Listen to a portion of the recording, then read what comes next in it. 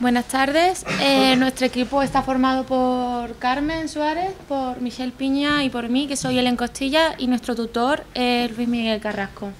Nosotros vamos a presentar un proyecto de electrificación rural descentralizada en el Amazonas peruano.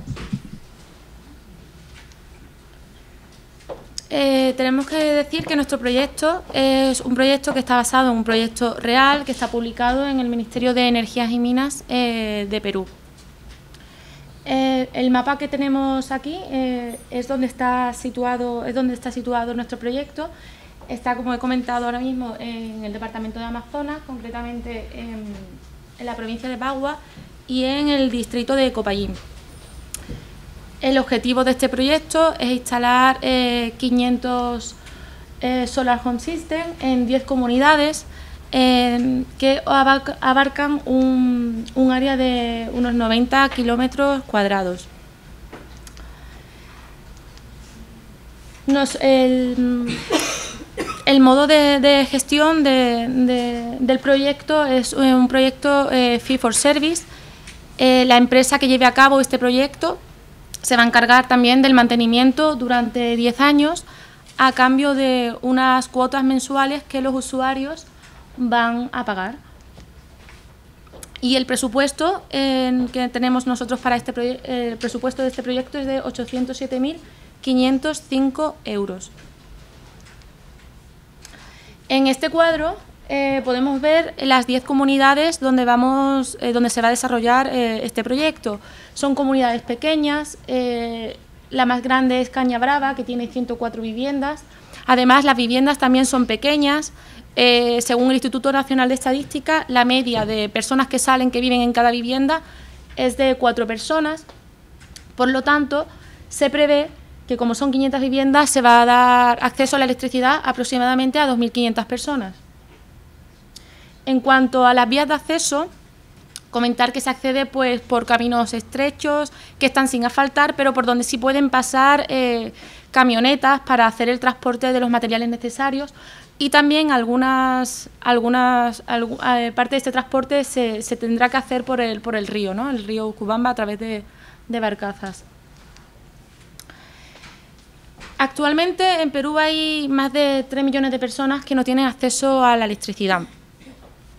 Eh, en este mapa no se ve eh, muy nítido eh, la leyenda, pero lo que llama la atención de este mapa es que la mitad del país está sin electrificar y no tiene ni siquiera la, línea de distribución no está ni siquiera proyectada.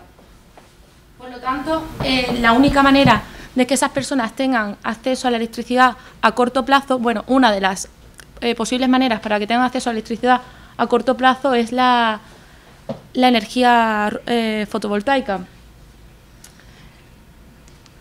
Y bueno, pues quería contaros un poquito que actualmente, o sea, eh, en Perú hay numerosísimas experiencias en electrificación rural fotovoltaica, hay muchísimos proyectos que se han llevado a cabo, proyectos que se han llevado en la selva, como en Ucayali, proyectos que se han llevado en los Andes, como en Puno, y eh, quería hacer mención especial a uno que hay un proyecto que lleva la Fundación Acción a Microenergía que se llama Luz en Casa. Eh, lo menciono por, porque, bueno, después mis compañeras comentarán un poco también, eh, como nosotros hemos hecho un modelo de gestión de Fee for Service, ellos también lo llevan a cabo, y eh, la cuota que pagan los usuarios por este mantenimiento mensual es de, de 3 euros al mes, más 15 euros que están subvencionados por el Estado, por FOSE, que es el Fondo de Compensación Social Eléctrica. Eh, los usuarios cuando pagan por tener acceso a la electricidad, pues parte de, esto que pagan pues se destina para el fondo este que acabo de mencionar. Buenas tardes. Yo les voy a hablar sobre el dimensionado de los, de los Solar Home Systems, que, que bueno, se ha elaborado para definir los mismos y eh, con un solo diseño para los 500 sistemas que van a ser instalados en viviendas pequeñas. Bueno, el método que se ha utilizado es el método del mes peor, para el cual es necesario contar con datos de radiación solar en el plano inclinado, que en este caso es de 15 grados, debido a la latitud de Bagua, Y bueno, se ha estimado el consumo de energía por medio de, una estimación de horas de funcionamiento de las cargas principales que, generalmente se tienen en comunidades rurales, como son luminaria, radios, eh, ventilador, en este caso pues por las temperaturas que, hay en Perú, televisión y pues teléfono móvil. el diseño se ha basado eh, con los datos de radiación del mes de febrero, que es en el que se tienen menos recursos solar. Bueno, ya una vez que se tienen los datos de, radiación y de consumo, se han definido los criterios de diseño, que en este caso son 12 eh, volts como tensión del sistema, no es necesaria una mayor tensión, eh, puesto que el sistema es pequeño. Una profundidad de descarga máxima de 80% para las baterías y 4 días de autonomía, que es un valor que se encuentra entre los valores estándar. Como resultado tenemos una capacidad útil de de la batería de 178 amperios hora y bueno ya tomando en cuenta la profundidad de descarga se tiene una eh, capacidad nominal de 222 amperios hora. Bueno, ya una vez obteniendo estos resultados se han elegido los siguientes equipos que son eh, dos módulos de 110 watts pico, una capacidad nominal de 500 de 250 amperios hora, perdón, y un regulador de 20 amperes. Estas son imágenes de los equipos que vamos a utilizar. Bueno, por otra parte, el cableado ha sido dimensionado en base a la corriente máxima que, se va a tener en el sistema y, y, se ha tomado en cuenta una caída de tensión del 1.5%. La sección de cable para todos los tramos es de 16 milímetros cuadrados y bueno, aquí les presentamos el diagrama unifilar que, que van a tener los 500 sistemas. Finalmente, las características de los componentes de, los, de los Solar Home Systems son, bueno, los módulos van a ser de silicio eh, policristalino, la batería es sellada, libre de mantenimiento, que este es un dato importante. Eh, las luminarias van a ser focos fluorescentes, eh, lámparas fluorescentes compactas de 11 watts. Y bueno, el regulador va a ser de, de 20 amperios hora con modulador de ancho de pulso les voy a hablar sobre el mantenimiento, que es una de las partes más importantes del proyecto, ya que de este depende la durabilidad de, los sistemas. Eh, lo hemos, eh, vamos a realizar actividades de mantenimiento tanto preventivo como correctivo. Entre las principales actividades que se realizan en el mantenimiento preventivo están pues el engrasado y apriete de los bornes de la batería, limpieza de los módulos, revisión del circuito eléctrico y revisión de las conexiones del regulador. Por otra parte, en cuanto al mantenimiento correctivo, este consiste básicamente en reparación y reemplazo de, los componentes de, los sistemas.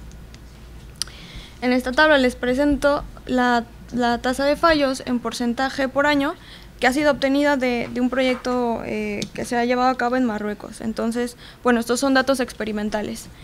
Em, aquí lo que hay que resaltar es que el, el de la batería es el único que es variable y va desde casi 1% hasta el 34%, que es, que es el valor más alto. Su tiempo medio hasta el fallo es de 10 años. La tasa de fallos del regulador y de las luminarias es constante.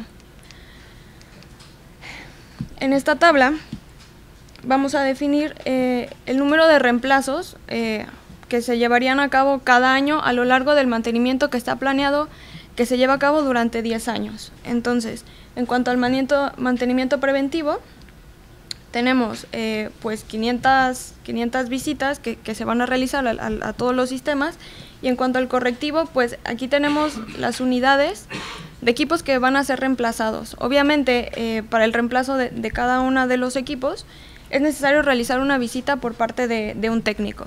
Entonces, tenemos aquí eh, las visitas por año que, se van a tener que realizar y bueno, luego este dato es obviamente aproximado. Y a continuación les vamos a hablar sobre la planificación del, proyecto. Bueno, pues voy a hablar sobre la planificación del proyecto, como ha dicho mi compañera. Aquí tenemos un Gantt muy simple debido al, proyecto comentar que el, primer hito sería la constitución de la sede, en el cual hemos englobado eh, las gestiones de constitución como el alquiler de oficina, contratación de personal, también la formación del, personal y, por supuesto, la obtención del stock para el comienzo de, las instalaciones.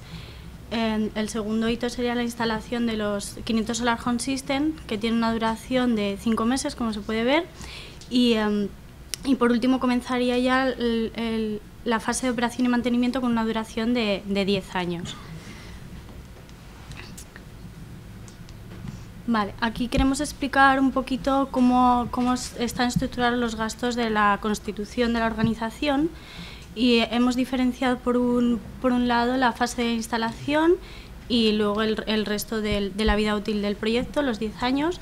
Entonces, comentar principalmente las diferencias eh, estarían en los técnicos instaladores, que durante la fase de instalación serían cinco equipos de dos técnicos instaladores con una capacidad de instalación hemos estimado de un Solar Home System por día debido a los desplazamientos, con lo cual resultarían los cinco meses de duración de, ese hito de la instalación.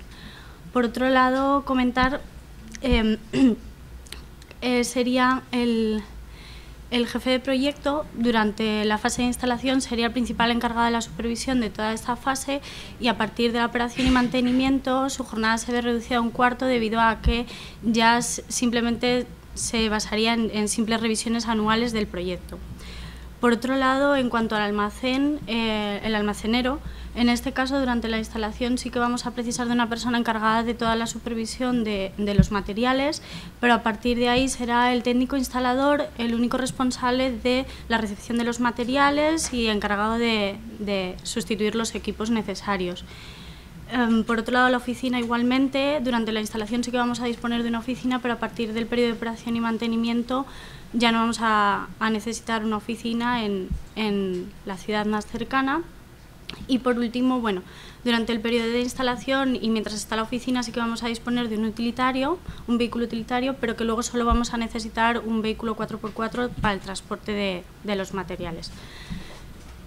El modelo que nosotros hemos seguido, como han comentado mis compañeras, se denomina Fee for Service y el nuestro en concreto, las mensualidades de los usuarios están estimadas en 3,75 euros por Solar Home System al mes durante los 10 años de la vida útil del proyecto, más luego hemos estimado el subsidio en 10 euros al mes por Solar Home System. Aquí queríamos destacar simplemente bueno, el desglose de los costes de un kit Solar Home System, sobre todo resaltar el impacto del coste de la batería, que supone un 54% sobre el coste total, que son 1.195 euros por cada kit. En esta, en esta slide eh, lo que vamos a explicar es un poquito la descripción financiera de nuestro proyecto, eh, comenzando por el importe total del proyecto que asciende a 807.000 euros, en el cual eh, va a estar distribuido en un primer pago anticipado correspondiente al 20%, como se puede ver, de 161.000 euros, y luego vamos a ir recibiendo unos pagos según se vayan instalando los, los kits. En cada mes, como hemos dicho, se instalan 100 Solar Home System y se van a ir recibiendo 5 pagos, que la suma total es el 70% del, del coste del proyecto, como se ve, asciende a 565.000 euros. Después del, del, primer año eh, se recibirá un último pago eh, como concepto de garantía correspondiente al 10%, que son 80.000 euros, y luego comentar que también se ha tenido en cuenta un aval para la ejecución del proyecto de un 5% que pone la, empresa instaladora con un coste financiero de un 2,5% sobre el mismo anual. Luego hay dos premisas para el estudio financiero que hemos tenido en cuenta, que será un periodo de 60 días en los pagos por la emisión de las facturas. Y eh, también otra, otra premisa que hemos tenido es la que la tasa de descuento hemos considerado que, que sea igual a la inflación anual. Vale, en esta presentación lo que queremos mostrar es un desglose de los costes del primer año. Sería un cash flow. como comentaba, el primer pago anticipado del 20% se ve aquí reflejado en los 161.000 euros. Después ya los, los cinco pagos por las instalaciones de los 100 Solar Home System en cada mes están aquí reflejados. Lo único que a partir de junio también se incluyen las mensualidades y las aportaciones. Em, destacar, como se puede ver, que en el primer año no incurrimos en pérdidas en ningún mes, por lo tanto el proyecto se autofinancia, no necesitamos financiación externa, que no está mal. Y para terminar, eh, bueno, aquí tenemos un desglose, un balance financiero de toda la vida útil del proyecto. en el cual lo que llama la atención eh, son los dos últimos periodos anuales en el cual incurrimos por pérdidas y esto es debido a, como ha comentado mi compañera Michelle, la influencia de la tasa de fallos de las baterías y el coste de las mismas. Al ir aumentando con los años, eh, la reposición de las baterías y el coste de las mismas nos repercute en unos costos altísimos en los últimos, en los últimos periodos. Pero el balance general, como se puede observar, tenemos un, un BAR de 316.000 euros y una TIR del 33%. Y para concluir, mi compañera Michelle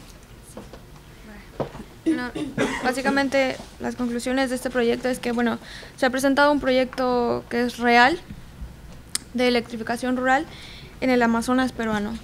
Eh, se ha dimensionado eh, un, unos Solar Home System con una potencia pico de 220 watts. Y bueno, se ha, debido al, al estudio económico financiero que se ha realizado, se ha obtenido un ban de 316 em, mil euros y una TIR del, del 33%. Este proyecto que, que se ha formulado eh, asegura la viabilidad y la rentabilidad del mismo. Y bueno, el, gracias a, al modelo de gestión que tenemos, que es el Fee for, for Service, tenemos pues esta TIR que, que es bastante alta. Y por nuestra parte ha sido todo.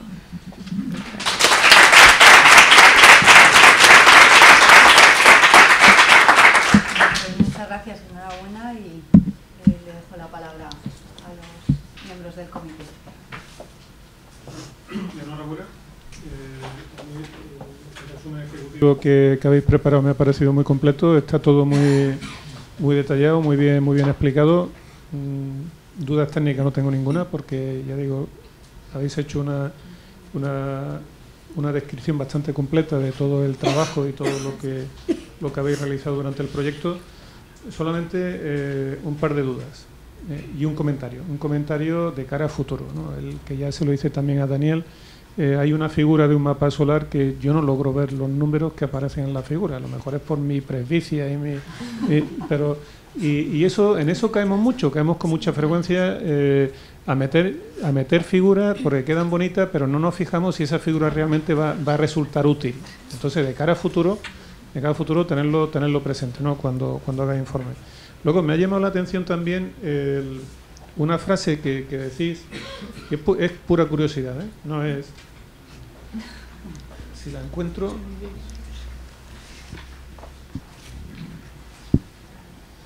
Sí, todos los materiales empleados en este proyecto serán suministrados por proveedores locales. Eh, ¿Quiere decir esto que en Perú se fabrican eh, los paneles, los acumuladores, los inversores o que, o que son distribuidores nacionales? Son, son distribuidores nacionales. son distribuidores, ¿verdad? Son distribuidores. O sea, no es que haya una industria nacional de... No es fábrica, es proveedor. No, son distribuidores todos. Vale, vale. Y luego, si podéis poner la, la transparencia anterior. Aquí, eh, a mí me llama la atención, efectivamente, los números son, son tremendamente positivos. El, el TIR, un 33%, excelente, ¿no?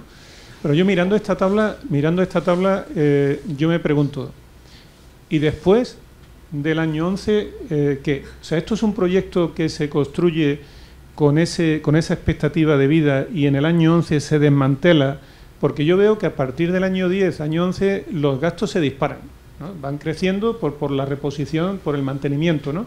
Los ingresos van a ser los mismos porque se paga el fee ¿no? por, por la electricidad consumida, pero eh, vemos como, como, ya son mucho mayores, mucho mayores los gastos que los ingresos. Eh, ¿Eso cómo se gestiona? O sea, ¿qué pasa a partir, de, a partir de, ese año 11? Lo que no se ve, o sea, la continuación de esa tabla, ¿cuál sería? ¿O es que el proyecto nace solamente, este tipo de proyectos se hace con con esa vida eh, prevista de solo 10 años? No, el, el proyecto el, se, se, realiza a través de un contrato que se firma eh, con el gobierno peruano. Entonces, este solo consiste en la instalación y los 10 años de mantenimiento.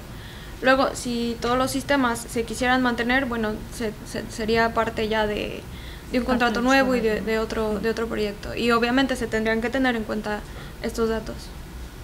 O sea, que, no, que, en un principio no está previsto qué hacer a partir de, de, de ese décimo año. No, porque ¿Habría también que depende- negociar o habría que...? No, porque también depende de la línea de distribución que ellos tengan. Si está previsto que a lo mejor llegue hacia esa zona la red eléctrica. Entonces ellos es- se tendría que ya mirar. no sería falta el sistema. claro, ya no haría falta. efectivamente. Vale. Pues muchas gracias. Por mi parte nada más. Enhorabuena. Gracias. Bueno, pues eh, enhorabuena por el proyecto. Técnicamente es sencillo, los Solar son, son sencillos, pero habéis hecho un proyecto redondo, que habéis tocado muchos palos y, y habéis estado atento a todo lo que, a la complejidad no técnica que tiene un- los sistemas de electrificación rural. Y además quería daros la enhorabuena también por haber elegido un proyecto pequeño, es decir, poco ambicioso en, en lo técnico, pero muy ambicioso en lo, en lo humano, en lo que está, digamos, fuera de los límites tradicionales de la ingeniería. Dicho esto, algunas preguntas. Eh, decís que es, eh, estáis respondiendo a una licitación que existe, y está publicada, incluso que está adjudicada, si no os he entendido mal, y es lo que estáis reflejando en el resumen. Supongo que vosotras habéis optado por otra solución, es decir, no habréis copiado sin más lo que otros han hecho, pero la, la curiosidad es, ¿habéis tenido opción de comparar lo que vosotros, lo que vosotras estáis proponiendo con lo que se ha sido adjudicado, si es que esa información existe? Eh, la información no está disponible todavía porque es un proyecto que está realizando, entonces, Ujú. y bueno, esos datos aún no los tenemos, pero Vale. Y no tenéis ni, ni orden de magnitud de tamaños ni nada parecido, ¿no? No hay... Ni lo No hemos buscado, ni Pero- así trabajando en ello lo hemos dado con ello. Vale. O sea, hemos propuesto una solución nosotros. totalmente nuevo. Sí. Y la, la opción que habéis eh, tomado como de Fee for Service es una de las 100.000 que hay en el mundo de la electrificación rural a pequeño tamaño. No sé si esa ya venía fijada en la licitación o es una que por la que habéis optado. Es una por la que se ha optado. No, de no, hecho, ah. me- Pero la licitación no la marcaba, no obligaba a hacerlo así. No, fue- la adoptamos nosotros. De hecho, se mencionó el proyecto de Fundación de Acciona para compararlo precisamente. Claro que que nos da diferente. donde se lleva a cabo. Sí es verdad que en, en Perú hay un, o sea, existe un, como se han hecho tantos proyectos de electrificación rural, existe un documento en el que te dicen exactamente cómo tienes que llevar a cabo eh, todo, todo este tipo de, proyectos, o sea, te exigen todas las cosas que tienes que poner y nosotros nos hemos intentado basar en ese documento para que fuera lo más real posible. Pero precisamente ese punto evidentemente no... Vale, no, no, fenomenal. Y con este plan financiero, con los comentarios que os eh, hacía Eduardo, los números hasta el año 10, fantásticos, pero también lo que estáis asumiendo ahí, si yo no entiendo mal, es que no va a haber impagos.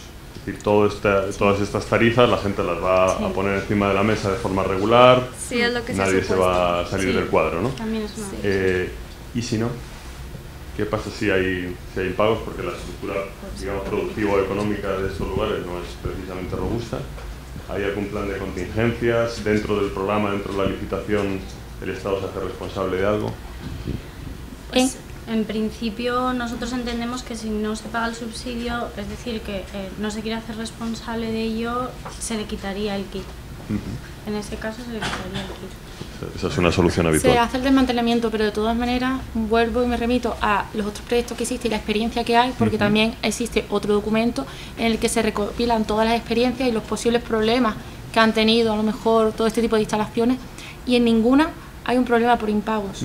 No es un problema que suelen tener, porque eh, es al revés, o sea, la gente... eh, si dejan de pagar es como que ya se señalan en las comunidades, porque son comunidades pequeñas y nadie se quiere señalar en ese tipo de comunidad, en este, en este tipo de cosas. Al revés, en todo caso, mm, sí que quieren aumentar el de poner eh, más cargas, pero no hay problema por impago. Muy bien. Y ya la última pregunta y termino. Eh, habéis optado por una batería sellada. Me llama la atención porque es verdad que la habéis etiquetado como libre de mantenimiento, pero tiene otros problemas derivados de la temperatura y de disponibilidad en el mercado. ¿Eso venía marcado en la licitación o lo habéis, es una opción vuestra? Y si es así, ¿por qué? No, es una opción, es una opción nuestra, lo de, lo de la batería, para simplificar la- las tareas de mantenimiento y, y además la profundidad de descarga que se ha optado, si, si te fijas, es pues, pues alta también, entonces para ayudarnos a alargar o prolongar este tiempo de envejecimiento de, de los acumuladores. Y veníamos asesorados también por nuestro tutor. Sabía. Claro. ahora, ahora responderá él. Muchas gracias. Enhorabuena. Gracias. Bueno, pues mi felicitación por el trabajo que habéis hecho y, y también por el, am- el ambiente que hemos tenido así de, de trabajo, que me habéis hecho bastante caso. Aunque al principio os propuse otros, otros proyectos eh, que teníais de documentación y os empeñasteis con este que habéis encontrado vosotras de, de Perú. Eh, los datos de, de partida eran un poco confusos porque, porque tampoco sabíamos si esto era una licitación, eh, era como un proyecto que ya tenía un presupuesto y además no estaba definido. Era un proyecto que decía que se hiciera o con red o con fotovoltaico. Y- pero no, sabíamos más. Entonces, bueno, ellas han tenido que inventar unas cuantas cosas para, para montarlo. Eh, al final creo que lo han montado muy bien. Como dice Óscar, no es un, no es un proyecto ambicioso, es un proyecto muy pequeñito, 500 solar con system, pero con mucha complejidad. Y, y es a causa de esa complejidad que tenemos estos resultados eh, económicos financieros. Eh, ya sé que en, en este foro hablar de un TIC del 33% es como ir de sobrado por la vida, pero en este tipo de proyectos tan pequeños y con tanta incertidumbre, eh, no- os aseguro que no hay ninguna empresa que se metería a hacer un proyecto así por menos de un TIC eh, como ese. Y la realidad es que eh, la mayoría de empresas que hay por el mundo haciendo mantenimientos en este tipo de programas, en realidad lo que les pasa es que pierden dinero. O sea que por 33% es todavía poco.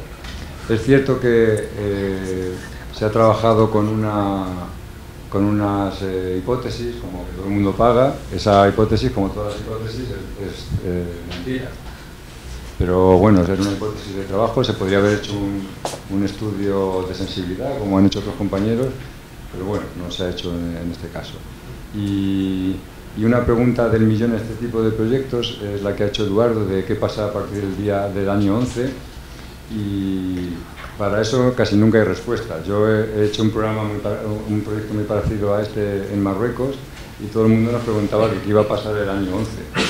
Nadie lo sabe, ni, el, ni la administración que, que hace este proyecto, ni el que lo ejecuta, ni nadie.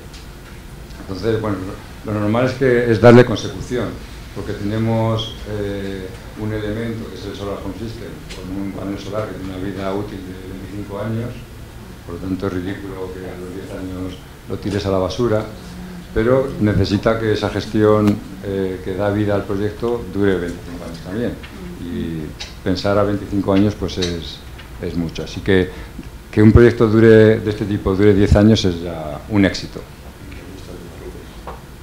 El de Marruecos ahora está en el año eh, 8 o 9 y está abandonado. No, no, este el de Marruecos está abandonado. Oficialmente no, oficialmente sigue ahí, pero la realidad es que está abandonado. Bueno, en Marruecos es un caso peculiar porque hicieron un, un programa para electrificar con red y los lugares muy lejanos con fotovoltaico y al final ha ocurrido que la red ha llegado a todas partes. Un éxito para, para los de la red. Bueno, pues enhorabuena.